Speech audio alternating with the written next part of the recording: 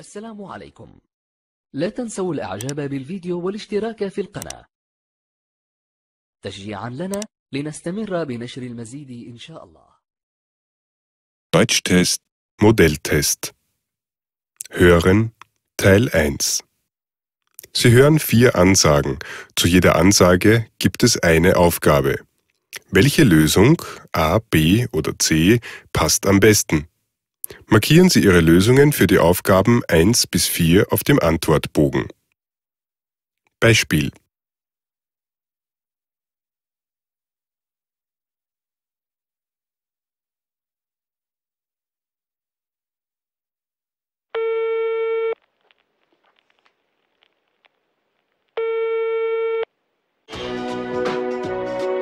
Guten Tag, Sie sind verbunden mit dem Bürgerservice der Stadt Klagenfurt. Wenn Sie Informationen zu unseren Öffnungszeiten wünschen, drücken Sie bitte die 1.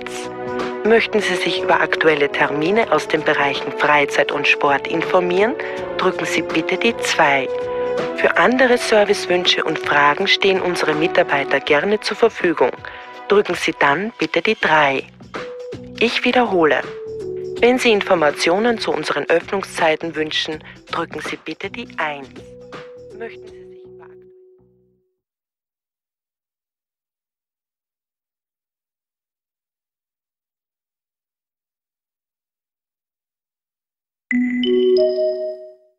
Nummer 1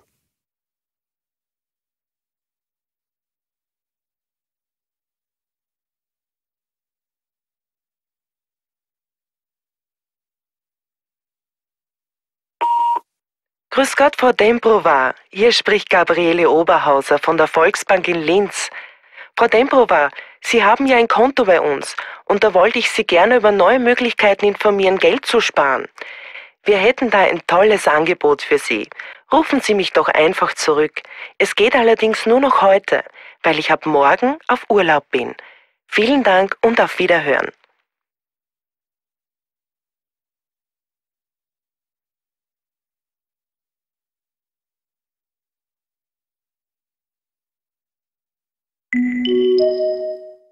Nummer 2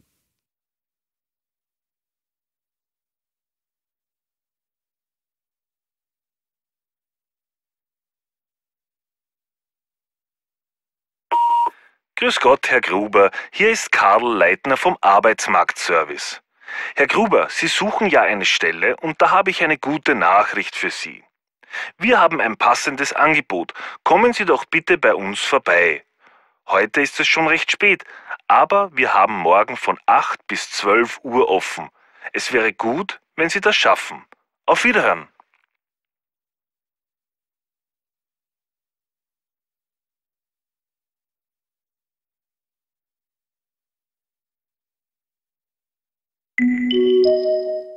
Nummer 3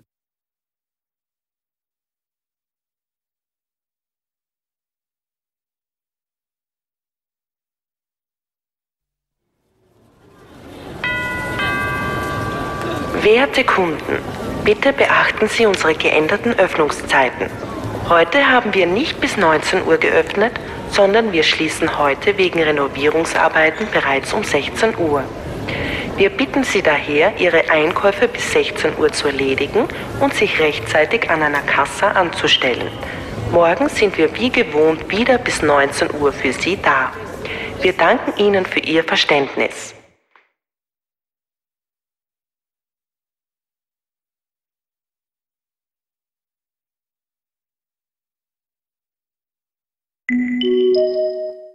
Nummer 4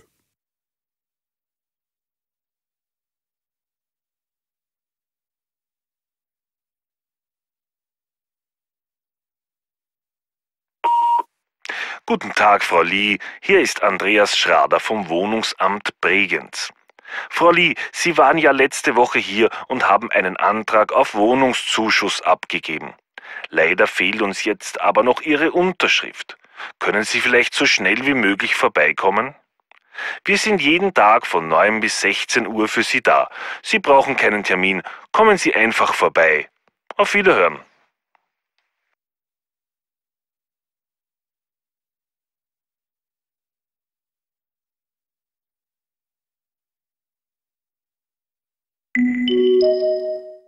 Ende von Teil 1.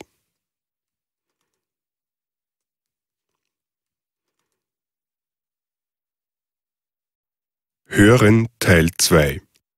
Sie hören fünf Ansagen aus dem Radio. Zu jeder Ansage gibt es eine Aufgabe. Welche Lösung, A, B oder C, passt am besten? Markieren Sie Ihre Lösungen für die Aufgaben 5 bis 9 auf dem Antwortbogen. Nummer 5.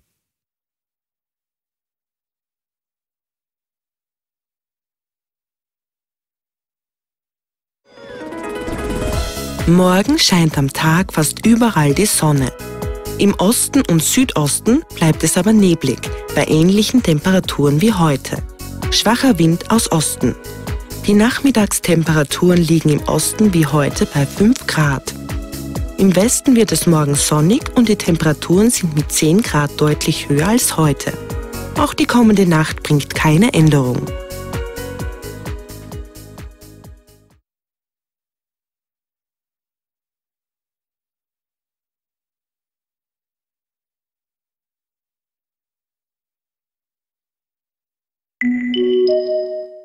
Nummer 6.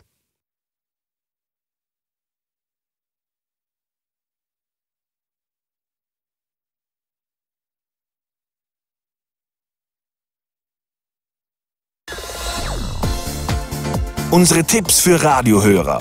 Heute Abend auf Radio FM. Ein Bericht über das neue Wiener Musiktheater. Wer sich für Politik interessiert, schaltet Ö6 ein. Dort läuft die Diskussion Gesundheitspolitik in Österreich. Und schließlich kommt auf Antenne 3 ab 19 Uhr Melodien von heute und morgen. Ob alt oder jung, wer Musik hören will, ist richtig bei Antenne 3.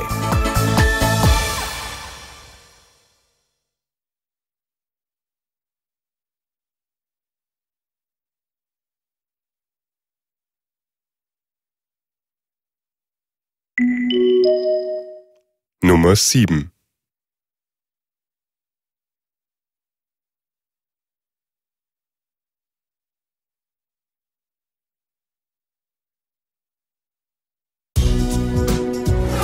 Die Sonne scheint in Ö6 um 13.30 Uhr. Wien.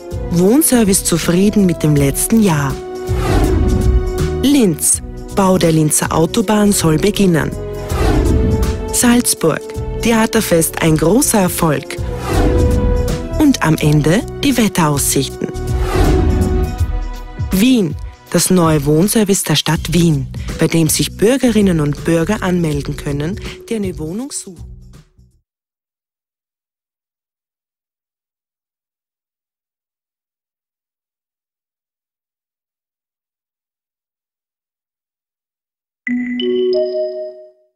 Nummer 8.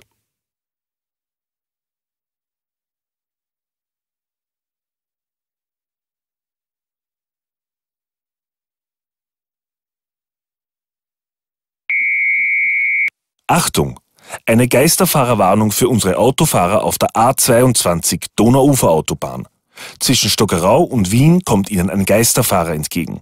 Bitte bleiben Sie in beiden Fahrtrichtungen rechts und überholen Sie nicht.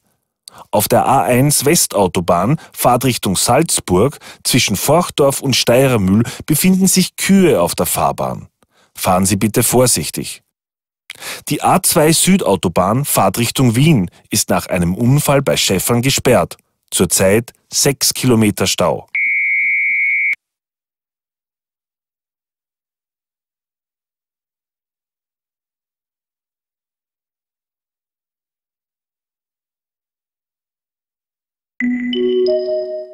Nummer 9.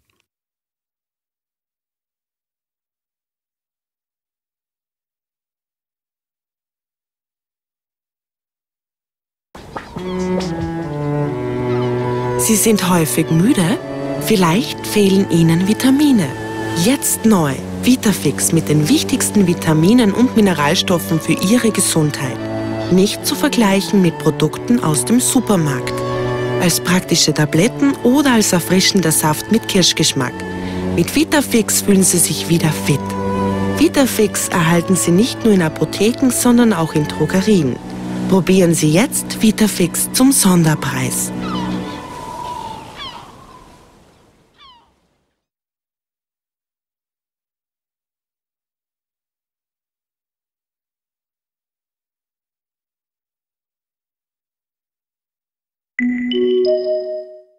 Ende von Teil 2.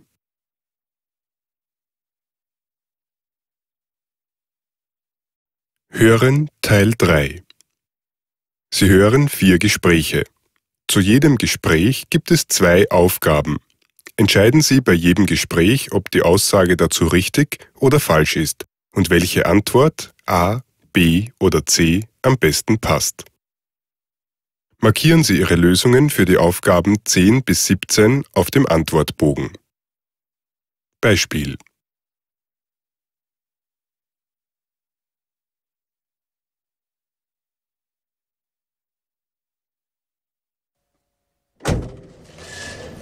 Guten Tag, grüß Gott. Ist hier das Fundamt? Guten Tag, grüß Gott, Frau. Ja, Sie sind hier im Fundamt. Womit kann ich dienen? Ich war heute in der Stadt und zwar beim Postamt, weil ich ein Backerl abholen wollte. Hm, beim Postamt am Residenzplatz nehme ich an. Ja, genau. Ich bin mit dem Auto in die Stadt gefahren, wissen Sie, und den Schlüssel habe ich wie immer in meine Handtasche gegeben.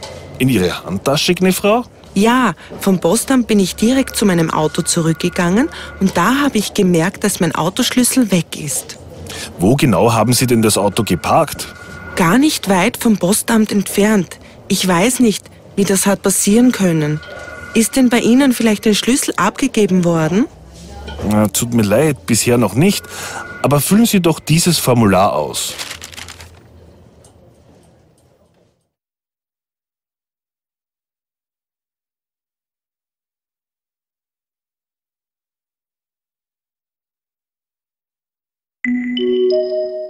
Nummer 10 und 11.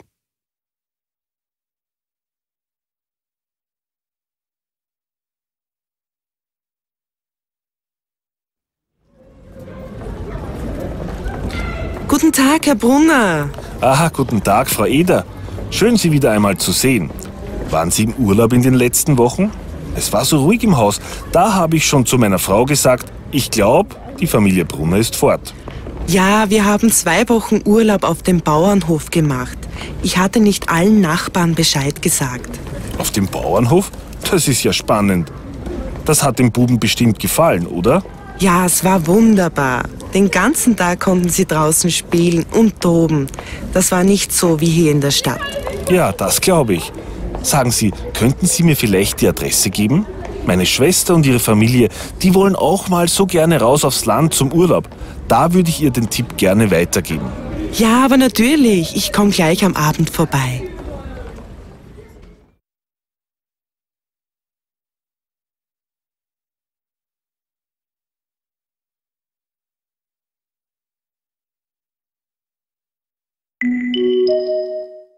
12 und 13.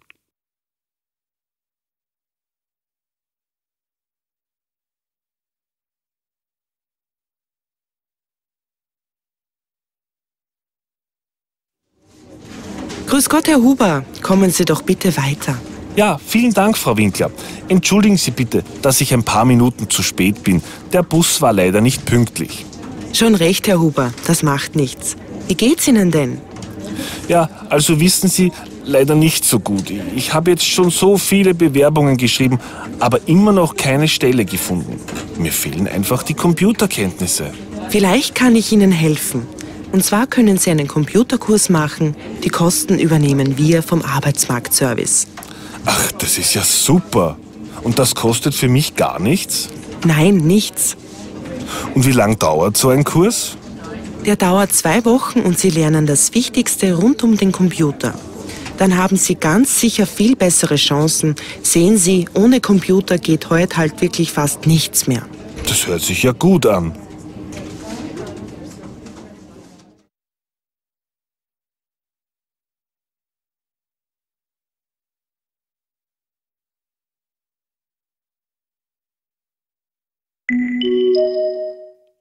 14 und 15.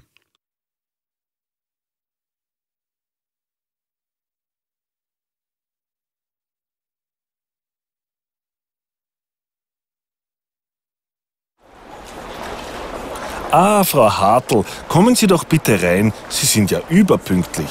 Ja, Herr Kraus, es hat sich ja sehr wichtig angehört.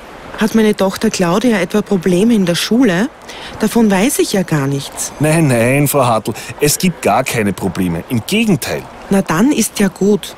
Was gibt es denn dann? Frau Hartl, Ihre Tochter ist ja sehr gut in Chemie. Und im nächsten Monat findet in Österreich ein Wettbewerb statt. Eine Chemie-Olympiade. Aha. Und es wäre meiner Meinung nach ganz wunderbar, wenn Claudia für unsere Schule daran teilnehmen könnte. Aber der Wettbewerb ist nicht hier in Salzburg, sondern in Wien. Und da wollte ich fragen, können Sie sich vorstellen, mit Claudia für ein Wochenende nach Wien zu dem Wettbewerb zu fahren? Ja, das klingt wirklich verlockend.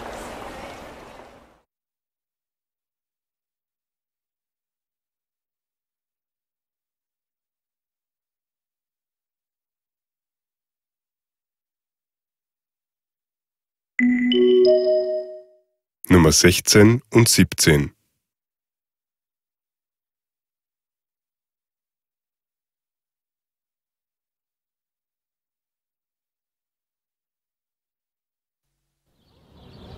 Ah, grüß Gott, Herr Fuchs. Schön, dass ich Sie hier treffe. Grüß Sie, Frau Schuster. Was gibt es denn? Sie haben ja in Ihrer Wohnung eine Gastherme. Ja, und die funktioniert auch sehr gut. Das ist schön. Aber trotzdem muss nächste Woche der Installateur die Therme überprüfen.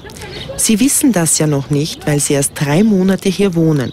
Aber die Heizung muss einmal im Jahr geprüft werden. Das ist Vorschrift.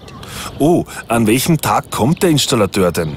Ich habe mit ihm schon Dienstag in der Früh um 8 Uhr vereinbart. Würde Ihnen das denn passen?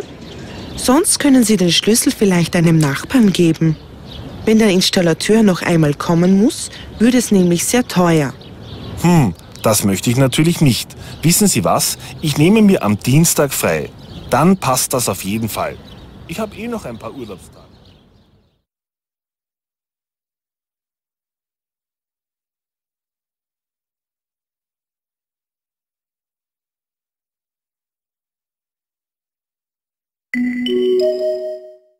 Ende von Teil 3.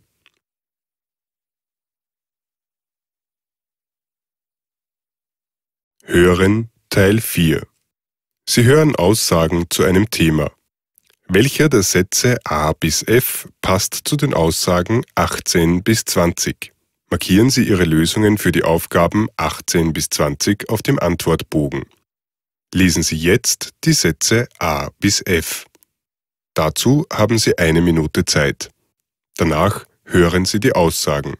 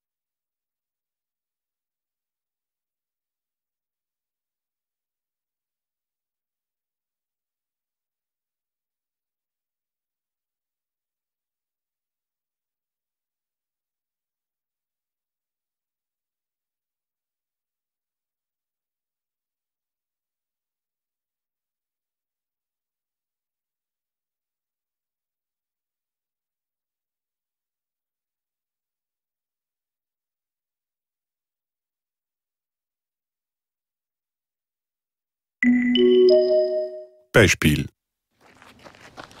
Ich gehe für mein Leben gern am Wochenende im Prater laufen.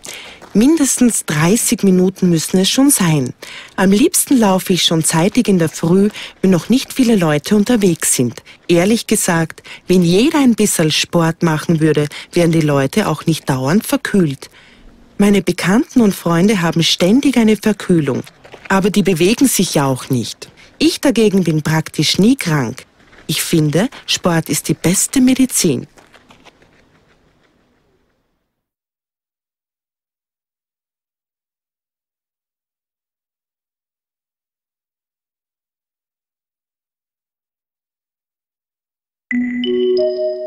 Nummer 18. Seit über 30 Jahren arbeite ich jetzt als praktischer Arzt. Und es stimmt schon, die Leute bewegen sich immer weniger. Aber ich kann trotzdem nicht sagen, dass viel Bewegung immer gut ist. Oft kommen auch Patienten in meine Ordination, die haben sich einfach übernommen. Erst haben sie jahrelang gar keinen Sport betrieben und dann plötzlich jeden Tag. Das geht natürlich nicht. Der Körper ist dann völlig überlastet. Das kann für einzelne Patienten sogar gefährlich werden. Man sollte es also nicht übertreiben. Zu viel Sport ist auch nicht gesund.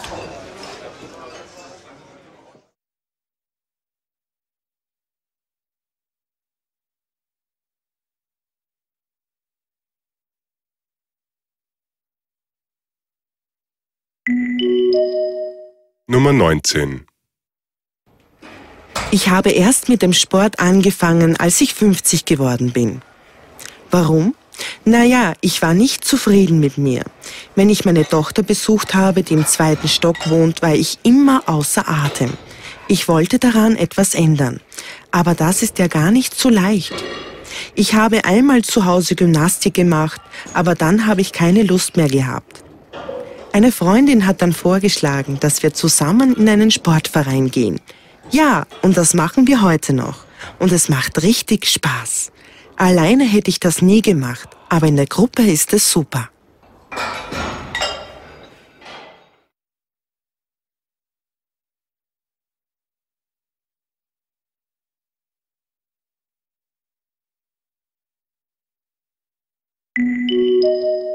Nummer 20. Ja, vor ein paar Jahren, da habe ich fast jeden Tag gesportelt. Ich bin joggen gegangen, war oft schwimmen und jetzt, jetzt arbeite ich in meinem Traumjob und es ist wirklich alles optimal. Aber ich weiß wirklich nicht, wann ich jetzt noch Sport betreiben sollte.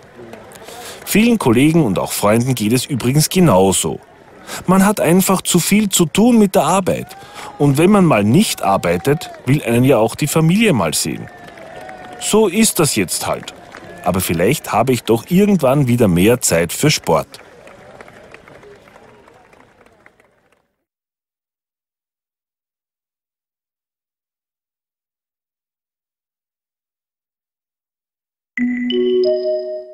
Ende des Subtests hören.